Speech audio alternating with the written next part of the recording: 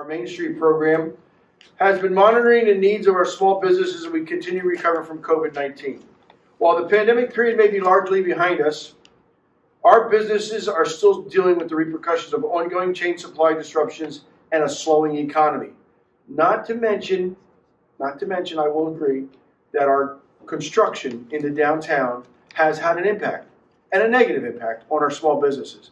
As a small business owner myself for over 25 years, I know what the mom and pop economy means to the city of Easton. It is our growth. We don't have the Targets and the Walmarts and the Dick's Sports. What we have is like the Easton Outdoors, owned locally owned and operated. And I and I mean it from my heart that people need to start, and they are. They're coming back to the downtown. To small businesses are the heartbeat of America, and small businesses are not easy to run. I can tell you, it's long hours and little pay. So I'm proposing a three-prong, $500,000 business retention package that City Council will receive in sometime in May as approval. Because it's going to take requirement uh, some amendments to our ARPA fund, our CARES, and, and we're going to do we're going to we're going to present it to City Council. And I know, I know that City Council will support this because I know they support small businesses. But we're going to provide marketing support to bring businesses the opportunities and tourism into the city, which we've done with things like the alfresco dining, outdoor dining. We're also going to be offering the second prong is technical assistance to struggling businesses and deliver tailored solutions to the individuals they are facing. And we'll do that with the Small Business Development Council also. And the third thing we'll do is indirect, inject direct funding, direct funding to address their increased cost of operation and support their short-term working capital needs. Now, some of that will be 0% loans, some of that will be grants, whatever that business needs to retain them in, in the business. So under my proposal, the city will invest $30,000 in destination marketing, which will help all of our small businesses. The campaign will highlight the incredible growth that the city has experienced, the positive changes that are taking place, while at the same time inviting people to come to shop, visit, and eat downtown and the surrounding districts to participate in our continuing renaissance. This is not a program just for the downtown. We always talk about our retail center. Our retail center is very important to me. Our retail center is the heart of the downtown, of the heart of the city. But a good heart pumps blood to all the neighborhoods. So this pro program is also for people who are reading the paper or watching it on TV or listening to radio or seeing it on social media. This program is for you. If you really want to start a new business, call our Economic Development Corporation, our Economic Development Department, and find out how to do it and what to do. We'll help you. But we're going to work with the city, the Greater Easton Development Partnership. Now, let me just say something about the Greater Easton Development Partnership. GEDP, the city wouldn't be where it is today without GEDP. Their programs are really helpful to the city. The Ambassador Program, the small, the, the Main Street Initiative Program, which has been award-winning for eight, 17 years. Um, the ambassadors of of the farmers market, the public market, and now taking the ambassadors out to the west ward. And I have a goal this year to make an announcement that we can also extend it to the south side. We're going to help them with issues related to marketing, business finance, information technology, succession planning, specific legal needs, internet provider. Um, a lot of our successful retailers are more busy on the internet than they are on brick and mortar. We need to prioritize their needs, strategically allocate resources to help them implement positive change. I'm projecting the cost of this program to be about $70,000. Finally, the plan calls for an additional $400,000 to be used for rent assistance grants and short-term working capital loans to help address specific costs of operations adversely impacted by the pandemic and lagging post-pandemic economy. I recognize that a little over $500,000 doesn't go far enough to support our business in these difficult times.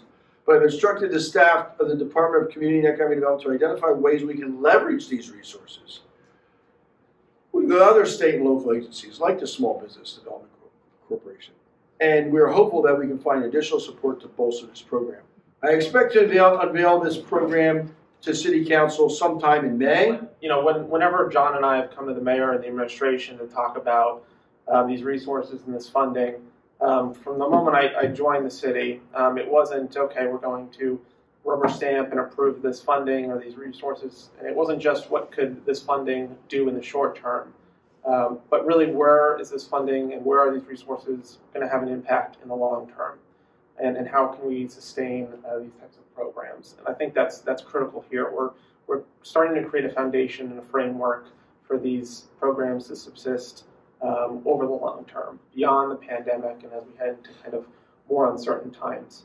Um, so again, I, I applaud the, the mayor and the administration, um, and, and we look forward to kind of working through, uh, working with uh, GEDP, Easton Main Street, and the SBDC um, to really make sure that this funding is equitable, uh, make sure that it's, it's done um, in, in, a transparent manner, um, and, and, really helps the people who need it most and our businesses that need it most. And, and again, I just want to thank Kim and Jared. Um, you know, the mayor's one man, our department's one department, um, but they really have the on the street knowledge about business owners who, who are really struggling and really need the, the assistance. So uh, I just want to thank all of our stakeholders. Um, Main Street Initiative is part of GEDP. We've all been part of conversations over the last few months um, with John Kingsley, the Department of, of, Community and Economic Development, to look at the resources um, that that department has at its disposal to help with small business. We recognize that um, pandemic was a very tough period for small businesses. We, we tried to support them as best we could during that two-year period, but there is a malaise and a hangover effect. Um, and as the mayor mentioned, construction was also a challenge this past summer. So there are very specific conversations around um, businesses throughout the city, really, that were impacted by construction, but also specifically businesses on the four, on on Fourth Street around the construction of the garage, and also in Center Square. So um, it's been a really collegial, collaborative process. Um, the city has been supportive of bringing funds to help address specific needs that both Kim and I have, have heard in the community, and John has heard in the community. Um, GEDP is looking also to, as the mayor said, um, leverage and match the city's funds um, by redeploying um, corporate contributions that came in through our Support Easton program. Um, so looking to stretch the dollar as far as possible and trying to support as many businesses as, as possible uh, with that three-pronged approach of marketing, technical assistance, and direct assistance to the businesses. Um, happy to be part of this, and I, I, think there's more details to come. And um, you know, I, I, applaud the mayor and his team on on making this happen. Um, you know, things don't always happen exactly as quickly as you want, but this came together relatively quickly, and I hope that we can um, help to deploy the funds in, in the next few months. So, thank you. Don't worry. Thank you, Mayor, um, and thank you to um, John and Sean through the uh, Department of Community Economic Development, Kim and Jared as well.